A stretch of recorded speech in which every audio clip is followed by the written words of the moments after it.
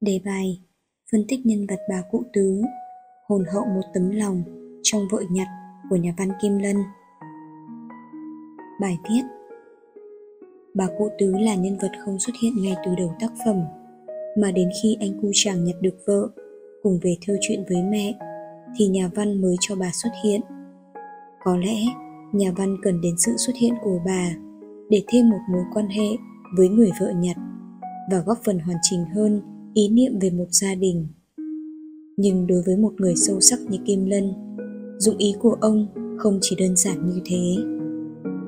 Nhà văn nổi tiếng người đức bê tông cho rằng, các nhân vật của tác phẩm nghệ thuật không phải giản đơn là những bản dập của những con người sống, mà là hình tượng được khắc họa phù hợp với ý đồ và tư tưởng của tác giả. Xây dựng nhân vật bà cụ tứ Kim Lân không đi sâu vào khái quát dáng vẻ bên ngoài, mà tập trung đi sâu vào những nét đẹp tâm hồn, làm nổi bật tính cách của người mẹ nghèo.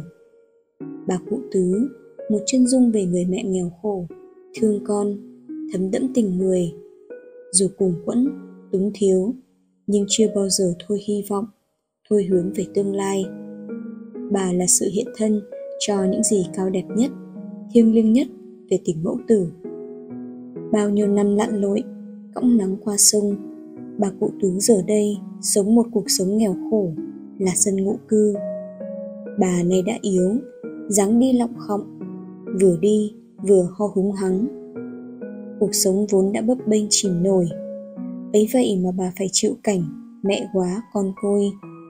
Chồng mất sớm, con gái út đi lấy chồng xa, chỉ còn lại người con trai duy nhất là anh cô chàng hai mẹ con yêu thương đùm bọc nhau sống trong tấm phên rách nằm rúng gió trên mảnh vườn lổn nhổn những búi cỏ sái trong những ngày tăm tối năm 1945. Nhà văn Nguyễn Minh Châu nhận định tình huống là một lát cắt của sự sống, là một sự kiện diễn ra có nhiều phần bất ngờ. Nhưng cái quan trọng là sẽ chi phối nhiều điều trong cuộc sống con người. Trong văn trường cũng vậy. Một tình huống nảy sinh lại là một phân đoạn cho con người có thêm phần đất diễn. Từ đó, làm nổi bật tính cách nhân vật. Như hegel nói, phải đẩy tới chóp đỉnh cao của mâu thuẫn thì sự sống nhiều hình mới vẽ ra. Hiểu được những đặc trưng ấy, kim lân đã rất khéo léo khi lựa chọn thời điểm để bà cụ tứ xuất hiện. Tại sao không phải ở đầu câu chuyện mà là ở cuối câu chuyện? Bà cụ tứ xuất hiện khi chàng đưa vợ về nhà và diễn biến tâm trạng của bà cụ tứ thay đổi liên tục khi có người đàn bà khác xuất hiện trong nhà của mình. Vào một buổi chiều trạng vạng, bà cụ trở về căn nhà tồi tàn của mình và bất ngờ trước sự xuất hiện của một người đàn bà lạ trong nhà. Sự sốt sáng hiện ra qua thái độ của con trai này quá đon đả.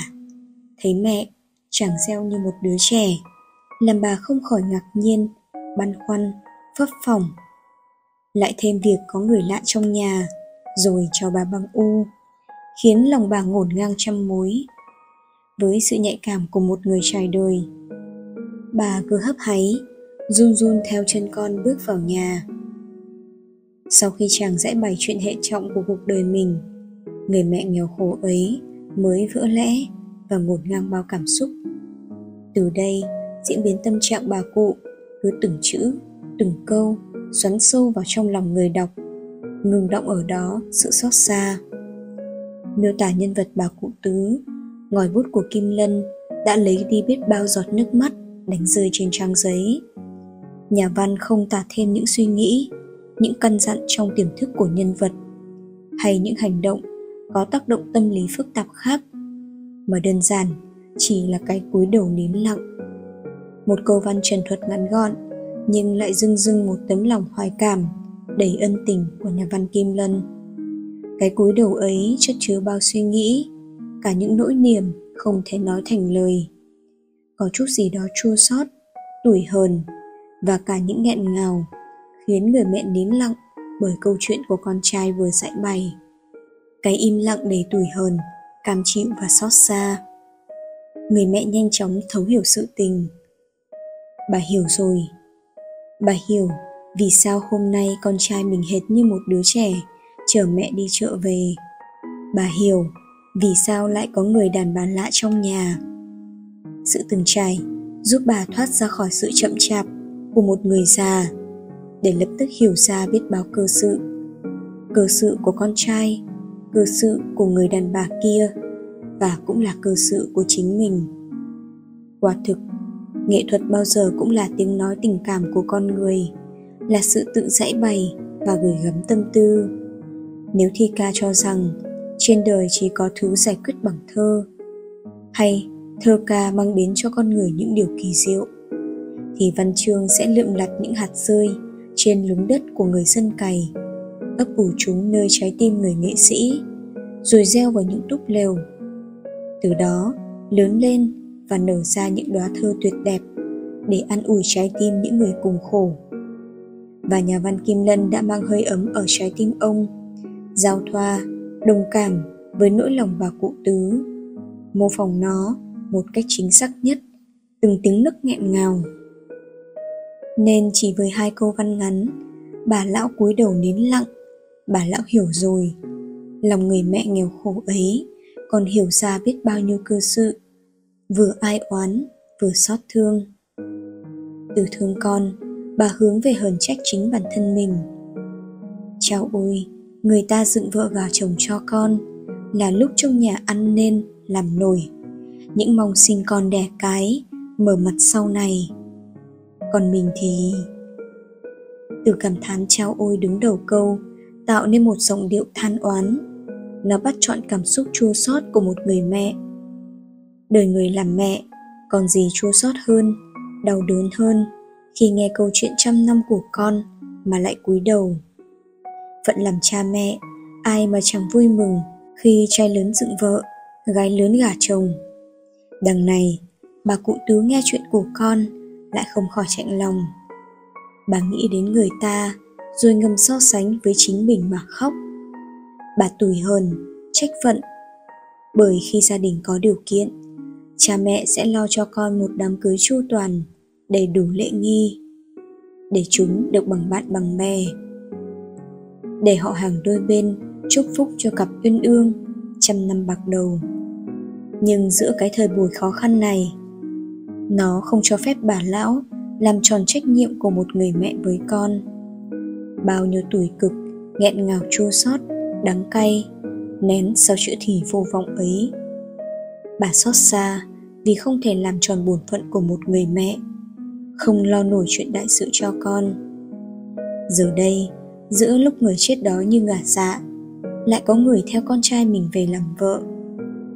Dấu chấm lửng, thể hiện sự nghẹn ngào, bất lực như một tiếng thở dài đầy tâm trạng của người mẹ già, có tâm nhưng lại không đủ sức.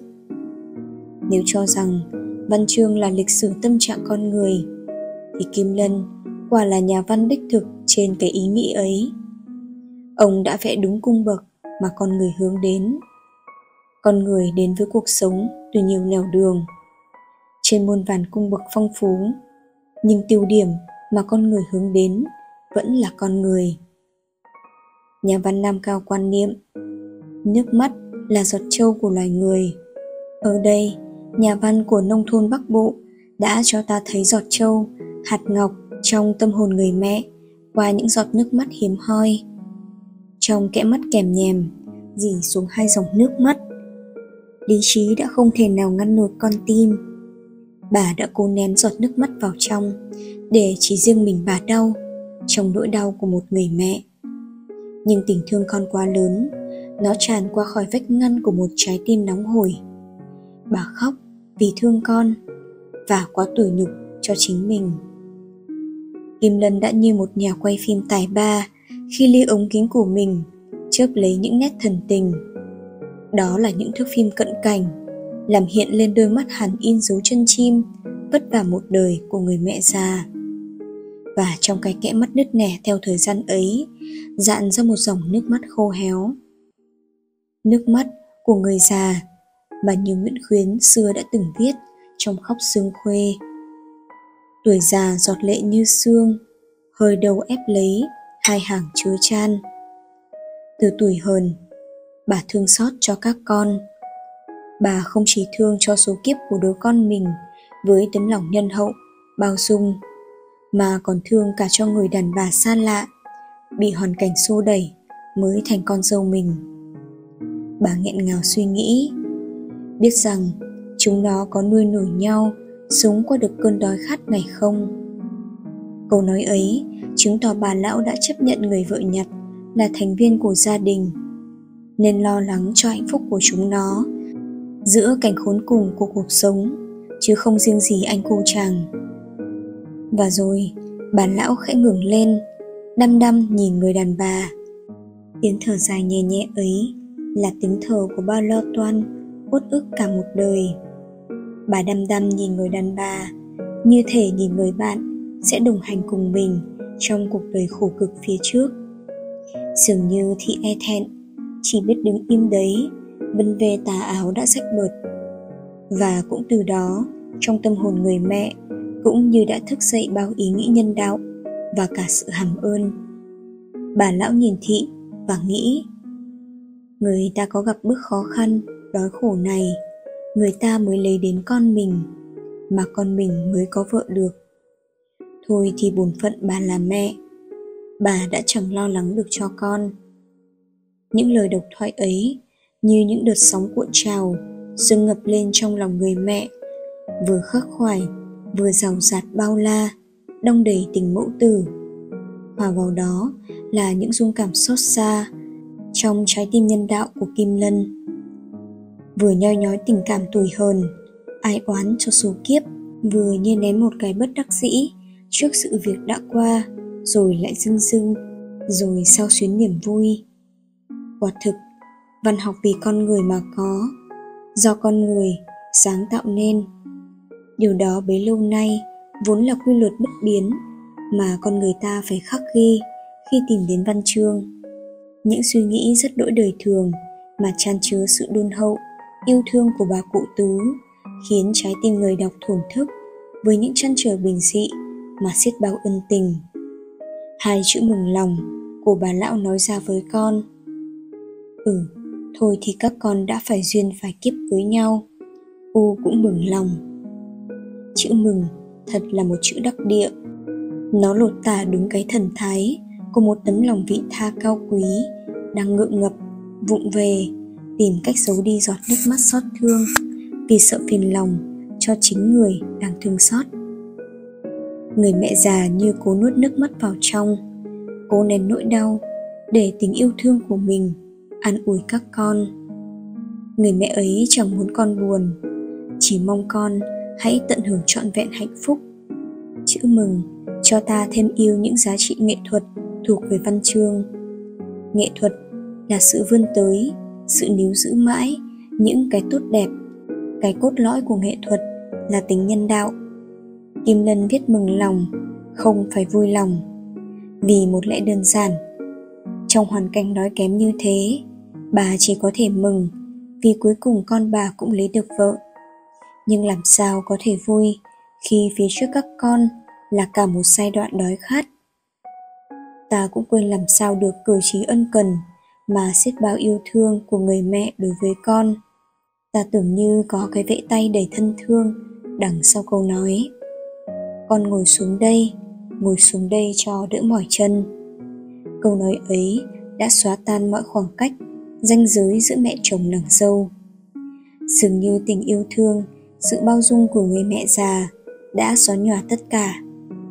Và rồi, bà lão nhìn người đàn bà, lòng đầy thương xót người mẹ nghèo khổ ấy thấu hiểu bao nỗi lòng của đứa con sâu mới.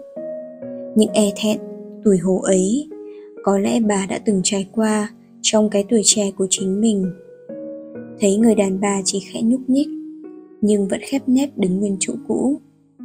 Trong không khí mang đôi chút sự ngột ngạt, chứa đựng cả những ngại ngùng, tình yêu thương, sự quan tâm của bà đã đánh tan đi không gian chật trội ấy.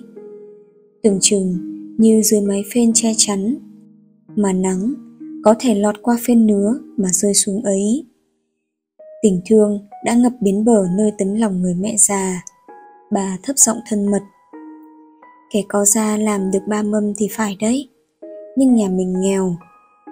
Đâu còn sự kinh ngạc, bỡ ngỡ như lúc có người đàn bà lạ trong nhà. Lời nói ấy chính là những lo lắng cho người con dâu mới lo lắng cho hạnh phúc đôi trẻ. Bà nói tiếp, cố làm sao, chúng mày hòa thuận là u mừng rồi. Năm nay thì đói to đấy, chúng mày lấy nhau lúc này u thương quá. Còn điều gì cao quý và thiêng liêng hơn tình mẹ? Kim lân đã thật sự nung đốt lên trong tâm hồn chúng ta tình mẫu tử thiêng liêng và cao quý. Quả thật, không có kỳ quan nào đẹp đẽ mà trường tồn bất tử hơn tình mẹ. Nghệ thuật, xét đến cùng, là nâng đỡ tâm hồn con người, để con người không xa xuống thành con vật hay thành ông vô duyên, vô bổ. Nhà văn Lev Tolstoy từng khẳng định, tác phẩm nghệ thuật là kết quả của tình yêu. Tình yêu chính là ngọc độc, là phiến kỳ nan trong rừng trầm hương, là tinh hoa trong vườn hương thảo. Kết tinh nên tình cảm được hôn đúc bằng tâm hồn người nghệ sĩ trước những dung cảm của cuộc đời. Trong nỗi lo lắng, băn khoăn về hạnh phúc lứa đôi, người mẹ ấy kẹt lại trong tình thương và hạnh phúc, bà cũng nghẹn lời, không nói được nữa. Bao nhiêu nỗi lo lắng cứ tích tụ, nghẹn lại nơi cổ họng. Nỗi lo mà không thể nào tan đi, nào sẽ ai thấu. Phó mặc cho cảm xúc làm chủ nước mắt bà cứ chảy ròng ròng. Nếu ở trên, kim lân miêu tả giọt nước mắt dì xuống hai kẽ mắt kèm nhèm, để chỉ đường chảy của nó là thấm sâu, chảy ngược vào trong. Thì ở đây, nó đã tuôn trào, thay cho bao cảm xúc, suy tư của người mẹ già. Những dòng nước mắt tuôn chảy ròng ròng như sự giải thoát của tâm trạng và cảm xúc. Bà khóc vì thương mình, cũng vì thương cho đứa con trai và nàng dâu mới. Có ai đó đã từng nói, trên đời này, thứ chân thật nhất chính là đôi mắt của một người. Đôi mắt chính là cửa sổ tâm hồn, là tính lòng hồn nhiên nhất, hồn hậu nhất. Người mẹ ấy đã sống trọn vẹn đầy đủ vì con, vì cháu, mà hết lòng, hết sức, như chính câu ca dao. Nước biển bao la không đong đầy tình mẹ nếu ta đã từng xót xa hình ảnh cái đói trong một bữa no, con người vì đói quá, ăn đến nghẹn thở mà chết hay cái hình ảnh bế tắc của chị dậu, vùng chạy ra khỏi nhà, trong cái cảnh trời tối như đêm 30 trong tắt đèn của ngô tất tố hoặc ám ảnh cái rạch đi ngật ngưỡng của trí phèo, phải tự kết liễu cuộc đời mình trên bàn xoay của chế độ để tìm nhân tính trong những trang viết của Nam Cao. Ta mới thật sự ngỡ ngàng khi đọc văn của Kim Lân. Trong đau khổ, bất hạnh và tối tăm, Kim Lân vẫn nâng con người lên trong tình nhân ái. Hình ảnh bà cụ tứ là ánh sáng le lói trong bóng tối của những kiếp người nghèo khổ. Nhân vật bà cụ tứ đã làm cho giá trị nhân đạo của tác phẩm trở nên thâm thía và cảm động hơn hình ảnh bà cụ mang thông điệp nhân bản dù bên cái đói, cái chết, con người vẫn không bị mất đi vẻ đẹp và bản chất lương thiện của mình. Vẫn luôn khát khao hạnh phúc và không thôi ước mơ về một tương lai tươi sáng và tốt đẹp. Mỗi tác phẩm nghệ thuật phải là một phát minh về hình thức và là một khám phá về nội dung. Kim lân đã khám phá và phát hiện miêu tả nhân vật nhẹ nhàng như không. Ông luồn lách ngòi bút vào đến tận nơi sâu thẳm của tâm hồn, bắt người đọc phải cùng cười, cùng khóc với nhân vật của mình. Đối với văn chương, đặc biệt là chuyện ngắn, bao giờ cũng có những chi tiết đắt, làm nên hạt bụi vàng cho cả tác phẩm. Chi tiết ấy được kết động ở tầng sâu trong tư tưởng, chiều rộng đến độ bỏng xuôi mãnh liệt của thứ tình cảm xuất phát từ đáy lòng nhà văn. Và chi tiết bữa cơm ngày đói cũng được xây dựng từ thứ ngôn từ ngọc ngà chân phương mà có. Nó quy tụ về, làm bừng sáng cho trang văn. Như mỗi chữ, phải là hạt ngọc, buông xuống trang bản thảo. Hạt ngọc mới nhất của mình tìm được, do phong cách văn chương của mình mà có. Kim lân đã cho ra đời biết bao đứa con tinh thần, viết về người nông dân. Nhưng với thứ ngôn từ, ông dùng để nói bữa cơm ngày đói chưa bao giờ là cũ bữa cơm đầu đón nàng sâu mới hiện lên thật thảm hại. Giữa cái mẹt sách có độc một lùm rau chuối thái rối và một đĩa muối ăn với niêu cháo lõng bõng. Mỗi người được có hai lưng lưng bát đã hết nhãn, nhưng cả nhà đều ăn rất ngon lành. Bà lão còn tâm lý khi cố gắng chấp những vốc cám cuối cùng để nấu chè khoán. Cháu cám để mang đến sự bất ngờ cho các con. Tuy đắng chát, nhưng đó là món ăn mà cả xóm ta, khối nhà, khối nhà, còn chả có cám mà ăn. Trong bữa ăn, bà lão nói toàn chuyện vui, toàn chuyện sung sướng. Bà mở ra một viễn cảnh tương lai qua câu chuyện đàn gà. Khi nào có tiền, ta mua lấy đôi gà. Tao tính rằng cái chỗ đầu bếp kia làm cái chuồng gà thì tiện quá. Này, ngoảnh đi ngoảnh lại, chẳng mấy mà có ngay đàn gà cho mà xem. Giữa những ngày đói khát, bà toàn nhắc chuyện tương lai và hình ảnh đôi gà. Trong câu chuyện của mình, như liều thuốc bổ tinh thần, sự sinh sôi nảy nở, lấn át cả cái đói, tăm tối của hiện thực. Câu chuyện ấy chính là tấm lòng người mẹ đang vun vén cho hạnh phúc của các con. Dù chẳng vẹn tròn, nhưng cũng phần nào gieo vào đôi vợ chồng trẻ niềm tin vào ngày mai. Đúng như Kim Lân đã khẳng định, khi đói, người ta không nghĩ đến con đường chết, mà chỉ nghĩ đến con đường sống. Nhà văn đã miêu tả thật sâu sắc tâm lý qua một hệ thống ngôn ngữ giản dị nhưng giàu sức gợi, thể hiện qua từng lời nói, cử chỉ, hành động. Phải là nhà văn có vốn hiểu biết phong phú, thấu hiểu và cảm thông, yêu mến và trân trọng cuộc sống thì Kim Lân mới có thể viết nên những trang văn có sức lay động hồn người đến vậy. Chúng ta sẽ nhớ mãi những trang văn viết về tình mẹ xúc động và chứa chan ân tình trong hòn đất của anh Đức hay người mẹ cầm súng của Nguyễn Đình Thi và sẽ không thiếu đi hình bóng của bà cụ tứ trong vợ nhặt của Kim Lân. Ông đã miêu tả thật qua hệ thống ngôn ngữ giản dị, giàu sức gợi nhà văn thêm một lần khắc sâu trong tâm khảm mỗi người, tình mẹ cao cả và thiêng liêng. Trong cái đói tối tăm, đã cứu vớt tâm hồn con người, nâng con người lên bằng những sợi dây tình cảm đan dày. Ta thêm yêu những trang viết của kim lân để một lần tìm về với cội nguồn dân tộc, tìm về với những bóng dáng của những người mẹ lầm lũi một đời.